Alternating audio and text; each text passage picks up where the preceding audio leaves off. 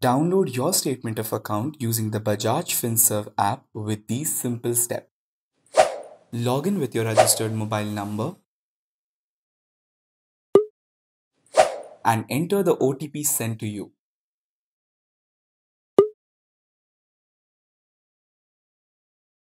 Click on account at the bottom right of the screen. Under My Relations, you can see all your loans.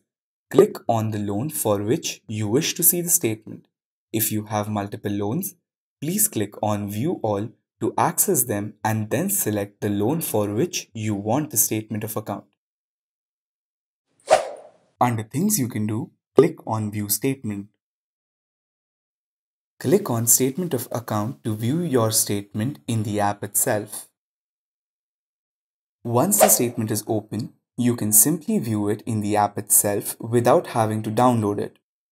You can also download it by clicking on the download icon or you can click on the share icon to share it with someone trusted. Click on the download successful notification to view the SOA in your phone's library. Check out the next video to know the main components of your statement of account.